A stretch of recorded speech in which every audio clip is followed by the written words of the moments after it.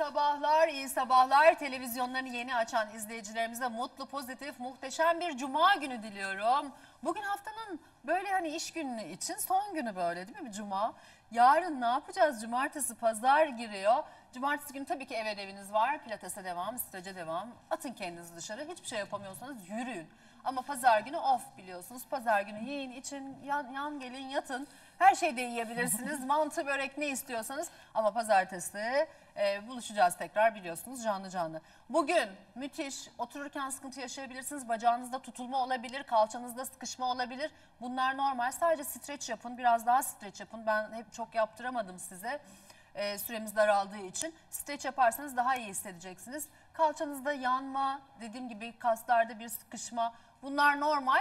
Ama e, müthiş bir etkisi var biliyorsunuz. Skinny jeans egzersizleri ve selülitisa var. Bacakları e, daraltıyor, e, güzelleştiriyor, kalçayı sıkılaştırıyor, şöyle bir kaldırıyor. Müthiş etkili. E, hepiniz muhakkak iyi hissettiniz diye düşünüyorum. Yeşil çaylarımız da hazır. Sevgili Emine Akkaya canlı yayın konuğum zaten başlamıştı. Müthiş bir telefon trafiği var. Bugün yine telefonları alacağız. Nasılsın Emineciğim? İyiyim hayatım. Çok sen iyi gördüm seni böyle bir dinlenmişsin dedim. Üç gündür uyuyorum Ebru'cum evde dedim. Uyumuş. Şey, ay- adaya niyetim vardı sabah 6'da uyu- kalkamadım. Kalkamadın. Yok kalkamadım. Böyle bütün gün yattım. Yattın dinlendin. Bir kahvaltı ettim. Bugün sabah 8'de kalktım. Oh çok güzel. Telefonların hepsi kardeşimdeydi zaten. O Telefonları yüzden da bıraktın. bıraktım. Her şeyi bıraktım. Her şeyi bıraktın. Oğlanı bile bıraktım. Oğlanı bile bıraktım diyor evet. Aynen öyle.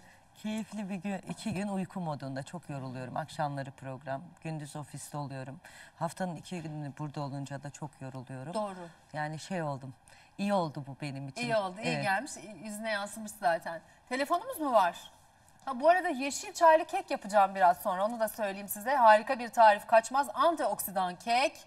Tam buğday unlu ve göz altı için müthiş bir maskem var. Evet, Bence onu kaçmaz. Onu da istiyorum. söylüyorum. İstiyorsun değil mi? Evet dudaklarımı kullanıyorum çok memnunum. Dudaklardan memnun musun? Memnunum, çok memnunum. güzel geliyor o Evet. dudak yumuşatıcısı. Yatarken dudak bakımı. kullanıyorum ama. Tabii yatarken. Gün içinde Çünkü de hani günde makyaj unutuyorum. olmayınca sürebilirsin yani. Makyaj kullanmıyorum gündüz evet. zaten hiç kullanmıyorum ama unutuyorum evde ya ya- yatak odasının üstünde hemen. Üstünde hemen sürüyorsun harika.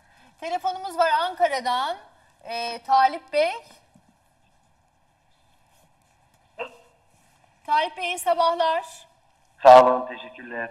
Nasılsınız? İyiyiz, işte çalışıyoruz. Sağ olun, sizleri sormalı efendim. Biz de iyiyiz. Teşekkür ederiz.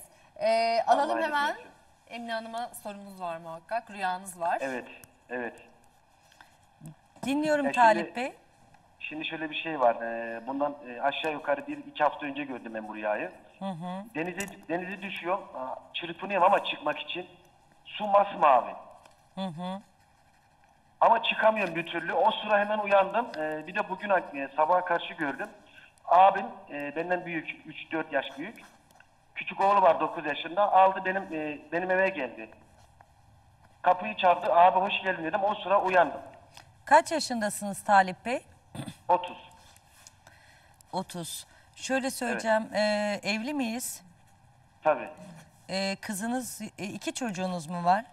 Hayır. Bir tane var. Kızınız mı var? Evet. Tamam kız çocuğu yazdık. Bir çocuk daha Allah nasip edecek gözüküyor size. Yalnız şöyle uzun süredir hayatınızda maddi olarak toparlanmaya çalıştığınız iki yıllık bir döneminiz başlamış. Yani 28 yaş döneminden bu yana maddi olarak toparlanmaya başlamış gözüküyorsunuz ama sizin en toparlanma döneminiz e, mavi su görüyorsunuz ama çıkamıyorsunuz çünkü. E, Aynen öyle. e, 32 yaş döneminizde evinizi e, yani mal almak ya da hayatınızda tüm aksi giden her şeyin iyileşme dönemi olacak ama biraz daha çırpınmanız gerektiğinin uyarısı var. Çünkü rüyan, rüyanızda da e, çıkamadığınızı ve çırpındığınızı söylüyorsunuz. İki yıl Evet. sonra hayatınızdaki her şey verimli ve istediğiniz kadar feraha ve aydınlığa kavuşma ama bahçeli bir ev alacak olarak görüyorum ben sizin enerjinizde. Büyük bir ihtimal bunların hepsini Allah nasip edecek. Yalnız işle alakalı Gerçekten ciddi sizi huzursuz eden olaylarımız var. 3-4 aydır da bu konuyla ilgili hani bazen gitmek istersiniz ama mecburiyetten kalmak vardır ya. Siz şu an mecburiyetten belli şeyleri idare etmeye çalışıyorsunuz ama bulunduğunuz noktada devam edin. Ee, Cenab-ı Allah sizi en iyi şekilde aydınlığa kavuşturacak. Abinizi görmeniz ise, ise o da 34 yaşında. Onun Evet. oğlu biraz e, sinirli olabilir, gergin bir yapıya sahip olabilir çocuğu. Ee, biraz onunla ilgili bazı problemler yaşayabiliriz ama burada Talip Bey abisine de kendi içinde kırgınlıklar yaşadığı gözüküyor. Öyle misiniz? Abimle mi? Evet. Aynen öyle. Yani- Konuşmuyorum. Hani, evet, e, kırgınlıklar para var. istemiştim. Tamam. Evet. Burada kırgınlıklar var ve maddiyat her zaman Talip Bey sizin kendi ailenizden büyük bir zarar uyarır. Yani sizin durumunuz e, yoksa bile sizden para istenilir. Sizin aile e, eşiniz iyi bir hanım, siz iyi bir insansınız. Yani Allah tabii ki ailenize e, ne diyeyim ailenize yardım etmeyin demiyorum ama size aileniz hiçbir zaman yardım etmedi. Siz tırnaklarınızla geldiniz hayata. O yüzden bu noktada siz haklısınız. O sizden özür dilemeli ve kapınıza o gelmeli. Siz ona gitmemeniz gerekiyor ki Zaten ben gitmem. Ben öyle e, gururlu insanımdır hanımefendi. Öyle şeye gitmem. Babama verdim zaten alamıyorum paramı. A- Kardeşlerime verdim, abime verdim. hayır hayır Alamıyorum zaten. siz kimseye beş kuruş vermemeniz lazım. Onun yerine vereceğiniz Ama ne bileyim Evet. veriyorum yani. Hani istiyor, hani dayanamıyorum. hayır, Kardeşim size mesela kimse evlenecek. geri vermez ama paranızı. Vermiyor, hep- evet. Vermez. O yüzden siz bir hayır yapacaksanız fakir, yetim, öksüz o kadar çocuk var ki gönlünüzden e, Zaten ay- bak hayır hayır ben zaten veriyorum. Ee, Ben de kendim devlet memuruyum. Zaten yeteri kadar veriyorum. Hani şükürler olsun Rabbim veriyor bana. Ben de veriyorum hani elimden geldiği kadar. Öyle söyleyeyim. yani sizin ailenizin size faydası yok, zararı var. O yüzden Aynen aile- öyle. Hiç hiç. Aynen öyle evet. Ailenize hiçbir konuda destek vermemeniz lazım. Kötü olan siz olursunuz. Verdikçe sıkıntı yaşarsınız. Bu kadar. Rüyanızın sağ anlamı bu. Peki. Hoşçakalın. çalışmalar. Sağ olun. Evet Gaziantep'ten telefonumuz var. Eser Hanım. İyi sabahlar. İyi sabahlar. Nasılsınız? İyiyim sağ olun. Siz nasılsınız? Teşekkür ederiz. Biz de iyiyiz. Rüyanız var sanırım. Evet Emine Hanım'a rüyamı anlatacaktım. Dinliyorum Eser Hanım. Buyurun. Ee, evet ben Emine Hanım bu akşam gördüm bu rüyamı. Eşim bize diyor ki ne yürü sizi pikniğe götürüyorum diyor. Gidiyoruz böyle yemyeşil çok güzel bir yer. Bayağı da kalabalık. Bana diyor ki ne burası çok kalabalık burada durmayalım diyor. Denizin kenarına gidelim diyor. Çocukları alıyoruz deniz kenarına gidiyoruz. Orada deniz kenarında. Bana diyor ki çocukları al da suyun içine yavaş şöyle kenardan suyun içine girin diyor. Kum sadece böyle yem sırılsıklam her taraf kum içinde. Evet. Ben denize giriyorum. Ayaklarımı sadece sokuyorum. Çocuklarımı koymuyorum. bir bakıyorum ki ne eşimin kucağında bir erkek çocukla birlikte. Eşim tepeden aşağı yuvarlanıyor. Böyle yüksek bir dağ gibi bir yer. Tepeden aşağı kayaların üzerine yuvarlanıyor. Allah Allah diyorum bu kaya yoktu burada. Bu nereden çıktı diyorum. Kendim böyle yani çabalıyorum çabalıyorum ama onu oradan alamıyorum. Benim benim bir oğlum yok diyorum. Bu nasıl oldu? Bu erkek çocuk nereden çıktı diyorum. Bayağı yani böyle çabalıyorum ama elim ne kadar elimi atsam tutamıyorum onları bir türlü. Eser Ondan sonra zaten uyandım. kaç yaşındasın bir tane? Ben 30 yaşındayım. Senin e, iki tane kızın mı var, üç tane mi var? Benim dört kızım var. Dört, beşinciyi dene erkek çocuğu nasip olacak sana. Aa.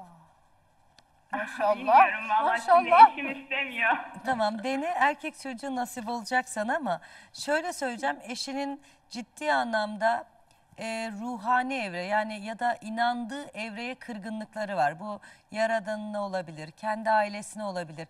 Bir öfke dönemi yaşıyor son bir, birkaç dönemdir. Var mı öyle bir sıkıntımız bir tane? Ya bu aralar biraz sıkıntımız var. Tamam öfke dönemini kus, e, yani buradaki yaradanına ya da kime kızıyorsa bunu kızmaması lazım. Çünkü siz düz bir alandasınız ve düz bir alandayken eşinizi kayalıkların arkasın e, kayalıklar görüyorsunuz ve erkek çocuğu da yuvarlandığını görüyorsunuz. Ama diyorsunuz ki benim erkek çocuğum yok.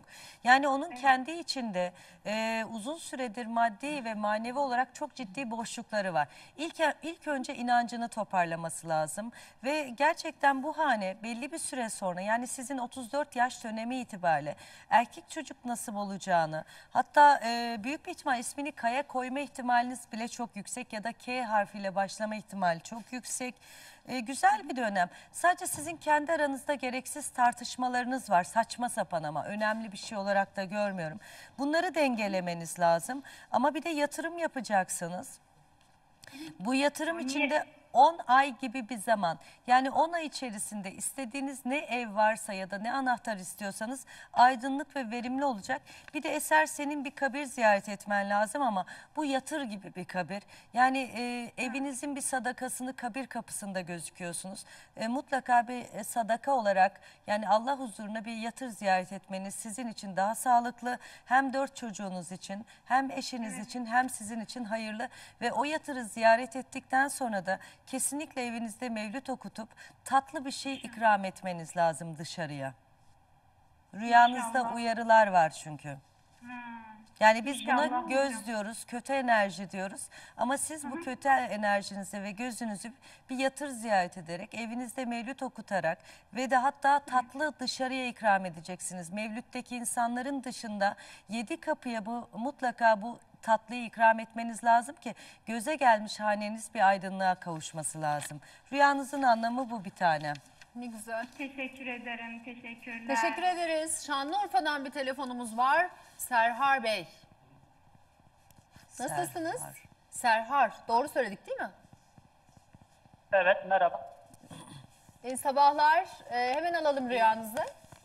İyi sabahlar. Nasılsınız? Ses gidiyor gibi. Alalım rüyanızı hemen. Alo. Alo. Buyurun. Sesimi alıyor musunuz?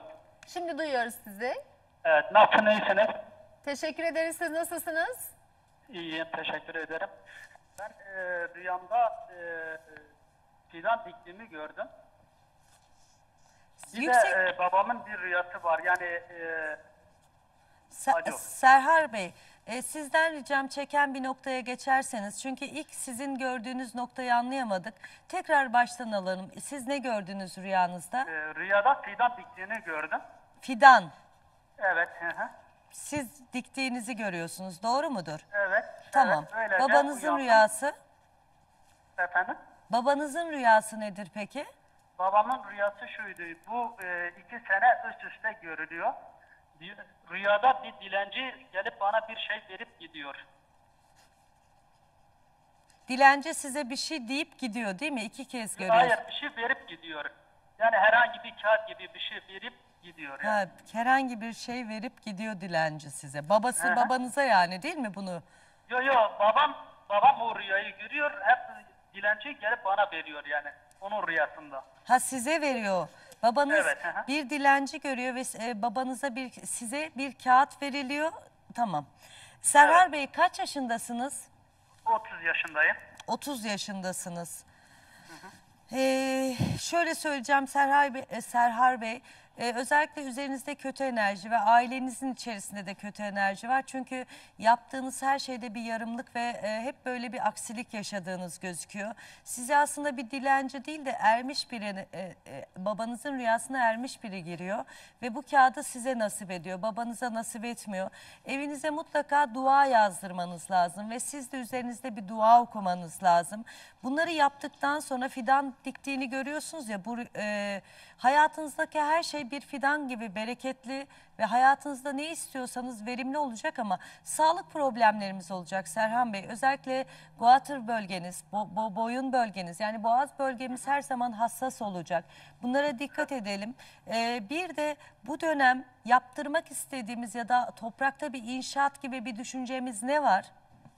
Evet zaten tarımla uğraşıyorum. Tamam. Gibi mısır falan uğraşıyoruz. Tamam. Siz toprakla alakalı ne istiyorsanız Cenab-ı Allah en iyi şekilde sizin kapılarınızı aydınlığa itecek. Fakat bir e, sizi bir babanızı ve sizi önemli bir zat ziyaret etmiş ama siz bunun duasını bedeninizde ve evinizde ve işinize yazdırmanız lazım. Ama fidan bolluğu, bereketi hayatınız boyunca şansı temsil eder.